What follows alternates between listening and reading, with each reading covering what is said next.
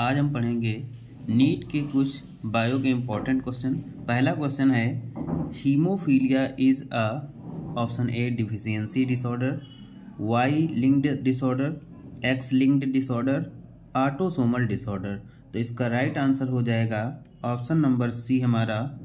Option number सी क्या हो जाएगा? एक्स लिंक्ड डिसऑर्डर ठीक है? तो हीमोफीलिया हमारा क्या है? एक्स लिंक्ड डिसऑर्डर है। उसके बाद में क्वेश्चन नंबर दूसरे की ओर चलते हैं। Which of these is a dominant factor इनमें से डोमिनेंट फैक्टर कौन सा है? Option A R H factor option B haemophilia option C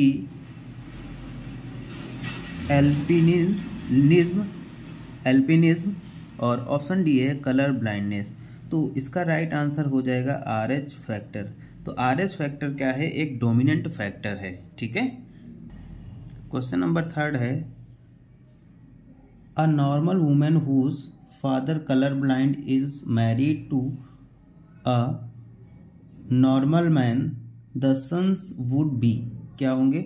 Option A fifty percent colour blind option B है ऑप्शन ए है seventy five percent colour blindness और option B दिया गया fifty percent colour blind option C दिया गया all normal और option D दिया गया ऑल कलर ब्लाइंड तो इसका राइट right आंसर हो जाएगा फिफ्टी परसेंट कलर ब्लाइंड ठीक है?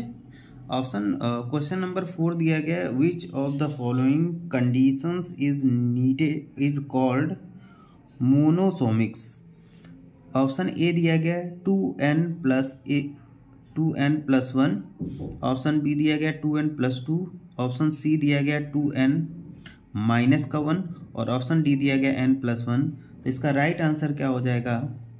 Option number C two N minus का वन ठीक है?